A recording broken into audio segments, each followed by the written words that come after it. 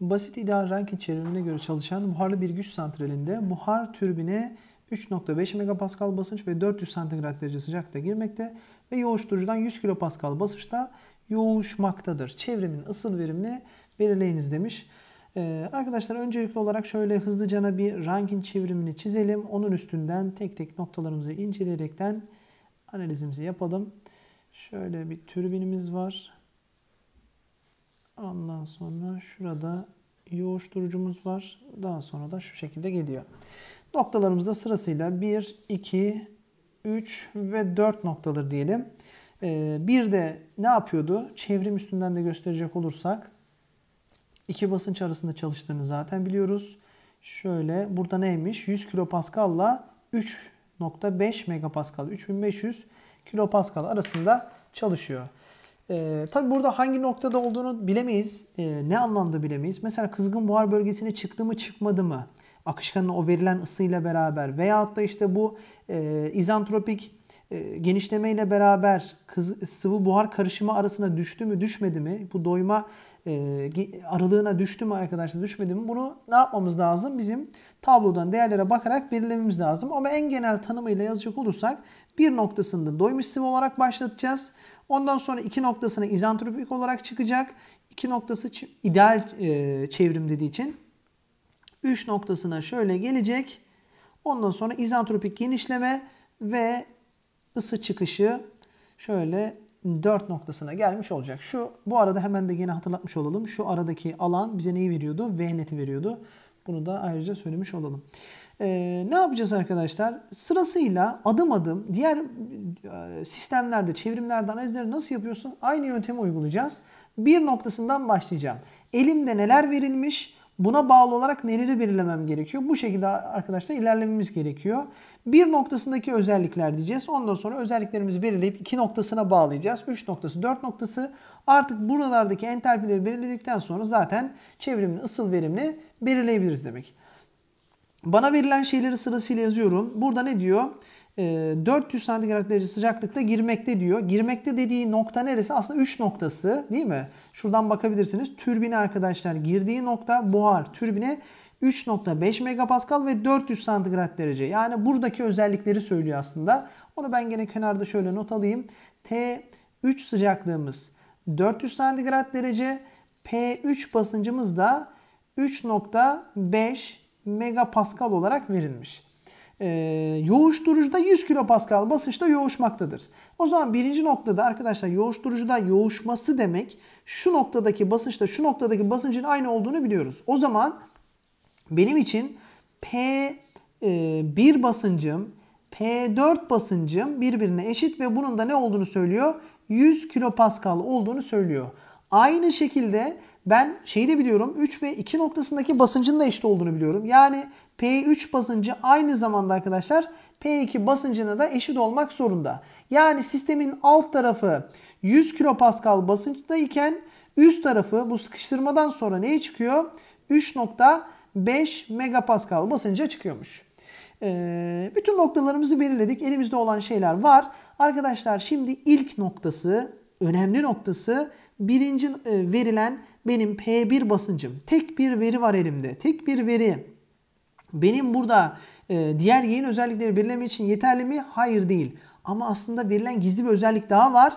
Biz neyi biliyoruz? Bir noktasında bizim akışkanımız doymuş sıvı fazında. O zaman verilen diğer özelliğim benim neymiş? Doymuş sıvı fazında olması. Doymuş sıvı fazında olduğu zaman ne yapıyoruz? Verilen basınçta veyahut da sıcaklıkta akışkanın arkadaşlar doyma özel F indisi değerlerini almış olacağız. Bana ne verilmiş? Basınç verilmiş. O zaman ne yapıyorum? Hemen basınç tablosunu açıyoruz. Basınç tablosunda 100 kilopaskal'a geldik. Bir kere ben bunun tam olarak sıcaklığını da aslında biliyorum bu noktada. Niye? Çünkü 100 kilopaskal'da tam e, artık faz değişiminin başladığı noktada olduğundan dolayı 100 kilopaskal basınçtaki sıcaklığı da belliymiş. Doymuş sıvı olduğundan dolayı T1 sıcaklığım 99.61 dereceymiş. Ee, başka ne işime yarayacak? Bir kere V e, işime yarayacak arkadaşlar. Şuradan V değerimi alayım. Ne kadar verilmiş? V değerim arkadaşlar. V1 değerim VF değerime eşit. Neredeki? 100 kilo Pascal'daki 100 kilopascal'daki VF değerimde 0.001043 e, metreküp bölü kilogram olarak verilmiş. Başka ne işime yarar? Ben arkadaşlar bir kere açık sistem olduğundan dolayı entalpi işime yarayacak. H1 değerimi alayım. H1 değerim de neye eşit? HF değerime neredeki? Gene 100 kilopascal'daki HF değerime eşit.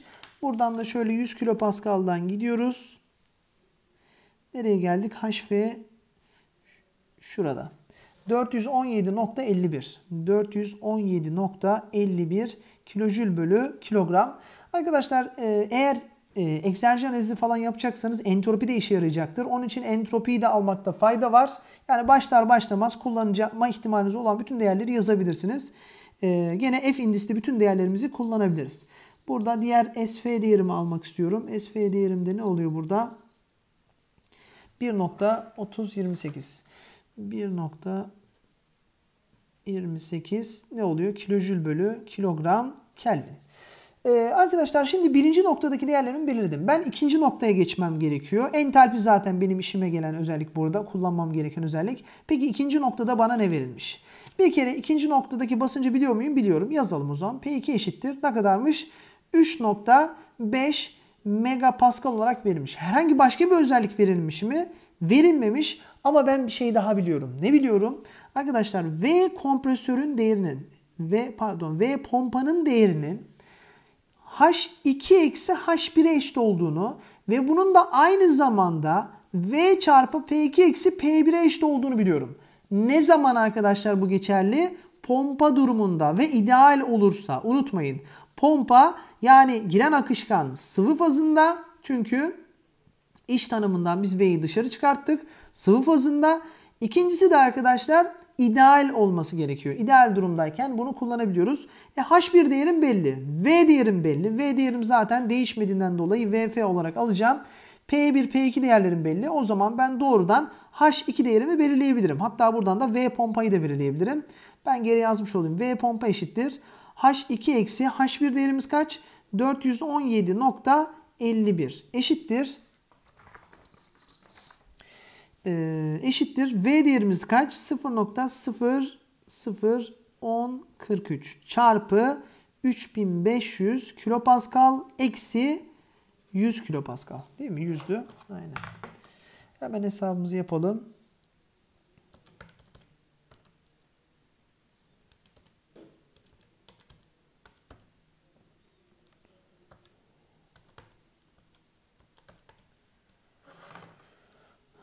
Buradan arkadaşlar H2 değerimizi ne belirledik? 421.056 kilojül bölü kilogram olarak belirlemiş olduk.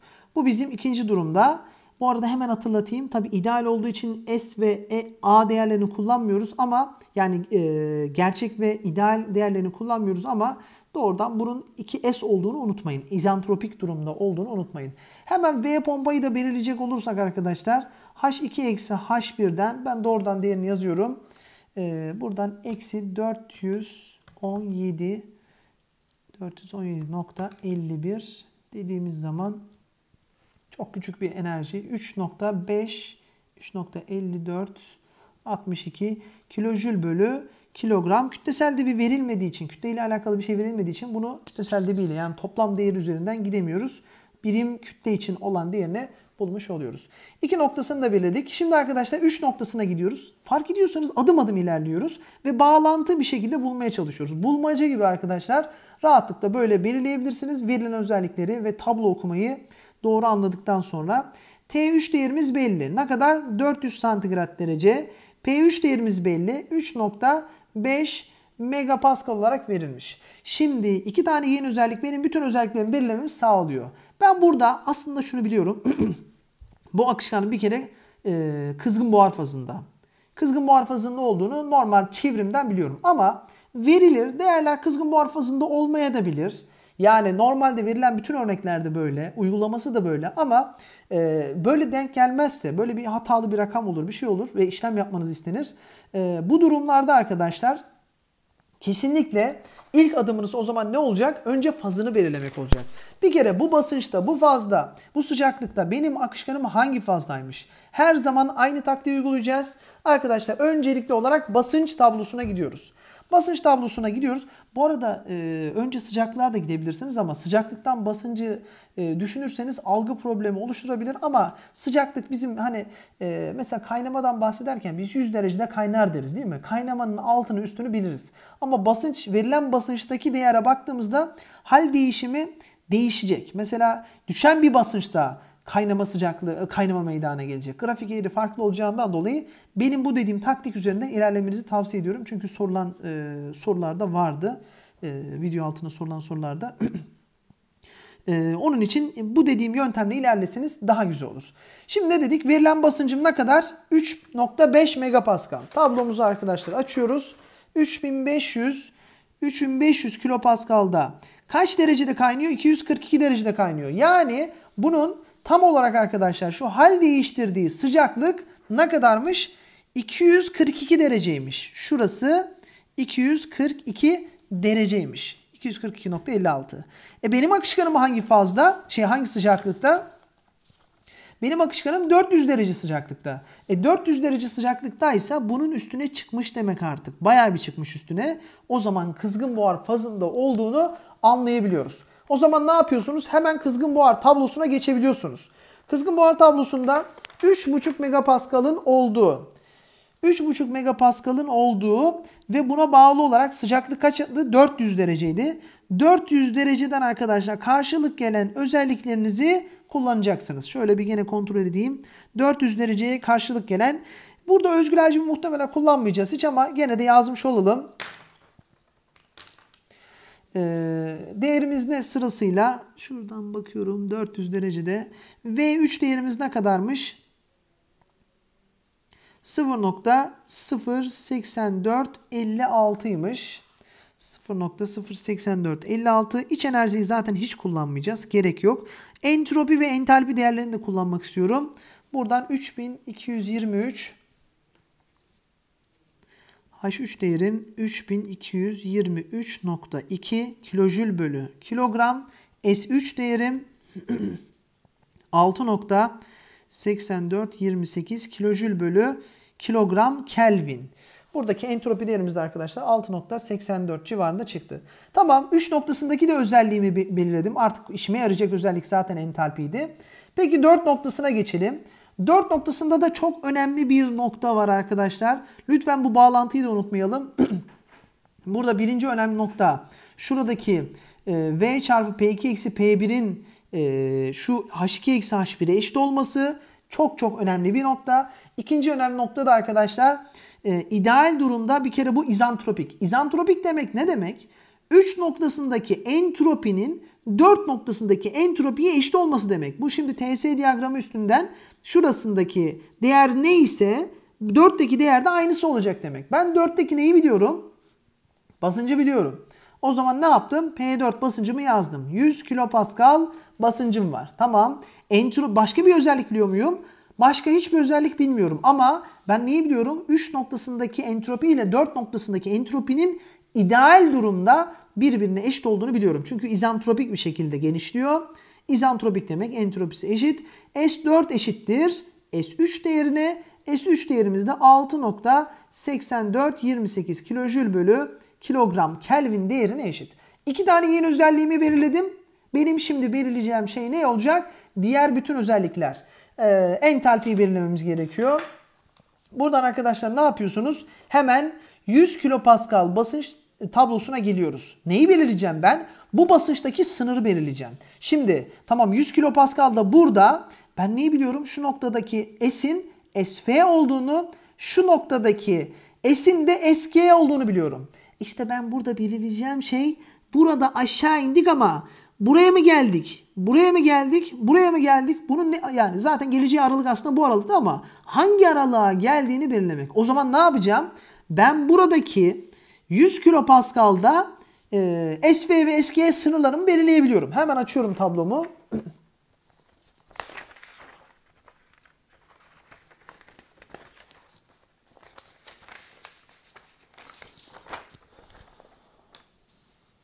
100 kilopaskal'daki SF ve SG değerlerimi biliyorum. Şuradan geliyorum şöyle. SF değerim benim burada neymiş? 1.3. SG değerim neymiş? 7.35'miş. Yani şuradaki SV değerim benim e, 1.3028 SG değerim ise arkadaşlar 7.3589'muş. Bu 100 kilopaskalın çünkü grafiği. 100 kilopaskalın grafiğinde S ve SG sınırları. Şimdi ben aşağı indim ve bunu kestiği bir nokta var. Bu kestiği noktayı biliyorum. Entropisinden biliyorum. 3'teki entropi buraya indi. Peki bu hangi aralığa geliyor? SG'den büyük mü? S ve SG aralığında mı? Bunu belirleyeceğiz. Bakıyorum arkadaşlar 6.84 hangi aralığa denk geldi? 7.35'ten küçük olduğu için 7.35'ten küçük olduğu için bu aralığa denk geldi. Bu aralığa denk geldiyse ne diyorduk arkadaşlar hatırlarsanız? Islak buhar bölgesinde ve S4 değerim aslında benim neye eşit? SV artı X çarpı SFG. Niye bunu yazıyorum? Bu aslında bana orantısal olarak 4 noktasının pozisyonunu belirliyor. Niye? Çünkü şurada 0 çıkarsa tamamı sıvıdır. 1 çıkarsa tamamı buhardır. İşte burada mesela atıyorum tam ortada olsaydı 0,5 buhar 0,5 e, sıvı olmuş olacaktı ve tam ortada olacaktı. Orantısal olarak bulmuş olduğum değere bağlı olarak ben diğer özellikleri H ve e, şeyde H değerlerimi işte e, eğer kullanacak olsam iç enerji değerimi, özgül hacim değerimi arkadaşlar belirleyebiliyorum. Ama benim işime yarayacak burada değer entalpi olduğundan dolayı buradaki arkadaşlar entalpiyi bulacağız. Peki entalpiyi bulmak istiyorsam yani formülasyon olarak aradaysa bu aralıkta olduğunda hangi formülü kullanıyorduk? H4 eşittir. HV artı X çarpı HVG formülünü kullanıyorduk. Tamam HV belli. HVG de belli. Çünkü sınırlarımız burada 100 kilopaskal'daki değerlere mi alacağım ama kuruluk derecesi belli değil. E kuruluk derecesinde bulacağım değer tabii ki de entropi olacak. Entropiden arkadaşlar belirleyebiliriz. Şuradan yapalım. S4 değerimiz belli. 6.8428 eşittir. SV değerimiz belli. 1.30 30 28 artı x çarpı SVG. SVG değerimiz de aslında belli. Tablodan direkt alalım. Çünkü farkını zaten veriyor bize. Şuradan 6.0562 olarak verilmiş. Yoksa da şey yapacaksınız. S4 eksi şey e, S G eksi SF'den zaten bulacaksınız. 6.0562 şeklinde olmuş olacak. Hemen kuruluk derecesini belirleyelim. Orada hangi pozisyona geldiğini hmm, görebileceğiz. 6.8428 eksi 1.3028 bölü 6.0 562.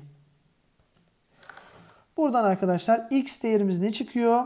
0.9146 şeklinde çıkıyor. Yani şu uca çok yakın bir şekilde çıkmış oldu. X değerimizi bildiğimize göre artık H4 değerimizi de belirleyebiliriz. H4 değerimiz de HV artı X çarpı HVG olacak. Hemen tablomuzdan gene bakıyoruz. HV ve HVG değerlerimizi 100 kilopaskal'daki HV değerim 417. HVG değerim de 2257. Buradan yerine yerleştirirsek siz de bu ara işlemlerinizi yapın.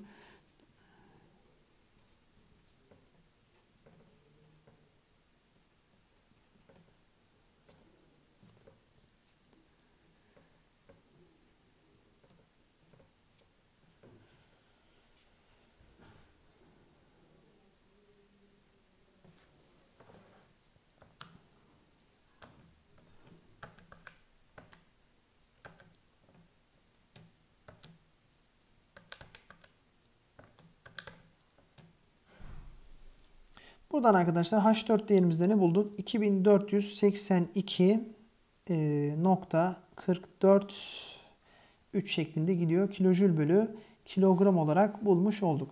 Bütün entalpi değerlerimiz belli. Zaten kütleselde bir verilmediği için hızlıca bütün hepsini belirleyebiliriz. Eğer ben Q gireni bulmak istiyorsam, şuradan arkadaşlar Q gireni bulmak istiyorsam, Q çıkanı bulmak istiyorsam, V pompayı bulmak istiyorsam veyahut da V türbini bulmak istiyorsam hepsini yapacağım şey ne olacak? İkisi arasındaki entalpi farkı. V türbin diyelim. V türbin nedir arkadaşlar? H 3 eksi H4. H3 eksi H4. Buradan H3 değerimiz neydi? H3 değerimiz e, şurada bulduk. 3223.2 eksi H4 değerimiz ne? 2482.443 şeklinde gidiyor. Oradan hemen hesaplayıverelim.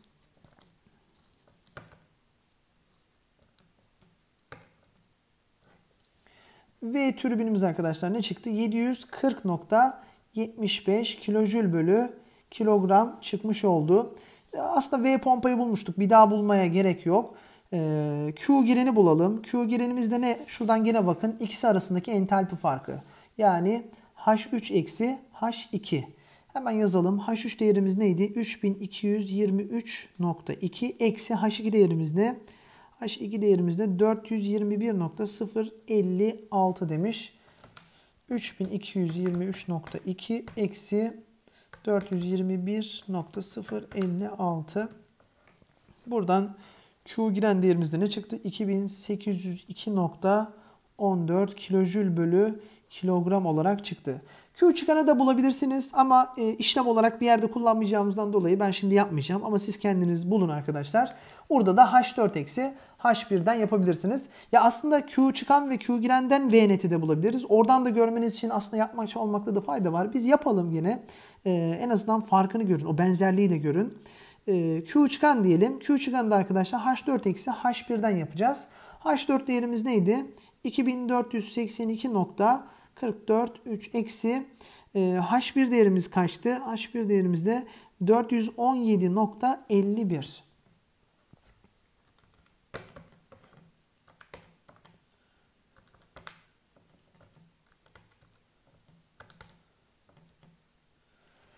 Buradan da Q çıkan değerimizde 2064.93 kilojül bölü kilogram olarak bulmuş olduk. Devam edelim şurada. Ee, bana neleri soruyordu? Verimi soruyordu arkadaşlar. Verimi iki şekilde bulabiliriz. Ee, yani iki şekilde diyeyim. Normal verim formülünü zaten biliyorsunuz. Verim formülü neydi? V net bölü e, Q girendi. V net değerini arkadaşlar isterseniz Q giren eksi Q çıkandan yaparsınız.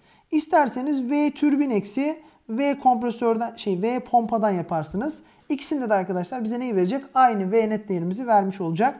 Veyahut da bunu biraz daha açıp V neti hiç bulmadan da eğer sorulmadıysa hız kazanmak adına şunu da yapabilirsiniz. Bunu Q giren eksi Q çıkan olarak böldüğümüzde ne olacak? 1 eksi Q çıkan bölü Q girenden de ne yaparız? Termal verimimizi arkadaşlar belirleyebiliriz.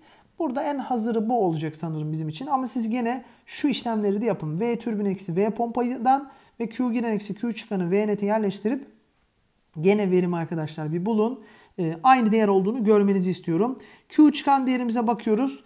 2064.93 bölü Q girenimiz ne kadar? 2802.14 bölü 2800 2 nokta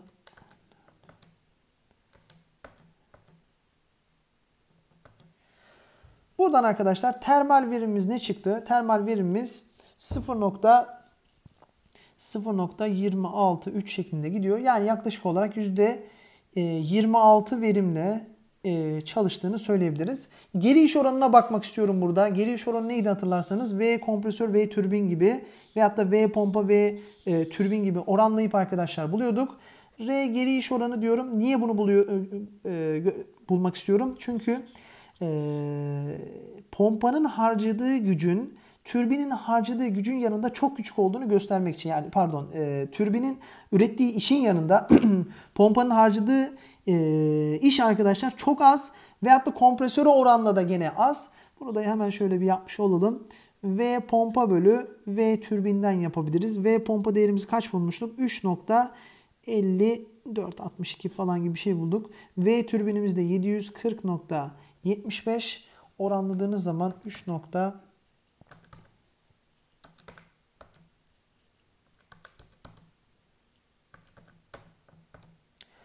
Arkadaşlar yani e, yüzde kaç oluyor? Şöyle diyeyim.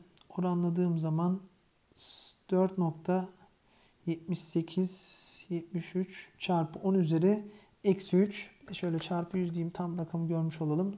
Yüzde 0.47'si arkadaşlar. Yüzde 0.478 arkadaşlar neye harcanıyor? Yani yüzde bir bile değil. Yani neredeyse 200'de biri arkadaşlar ancak pompada harcanıyor. Ama kompresörde hatırlarsanız nasıldı? Yüzde e, yüzde 50'lerde, yüzde 60'larda, yüzde 40'larda ürettiğimiz enerjinin e, kompresör tarafından çekildiğini tekrar görmüştük. Bu da ne ile ilişkili? Tamamıyla arkadaşlar özgül hacimle ilişkili. Tekrar vurguluyorum. Oradaki o iş tanımın özgül hacmin fazla olması bu yüzden daha fazla iş tüketimine ki kompresöre zaten giren akışkan gaz fazında olduğu için kompresörlerin enerji tüketimi fazla oluyor. V çarpı dp'deki şuradaki özgül hacim. Arkadaşlar aynı sorunun bir de e, ideal gerçeğini çözmüş olalım. İdealini çözdük.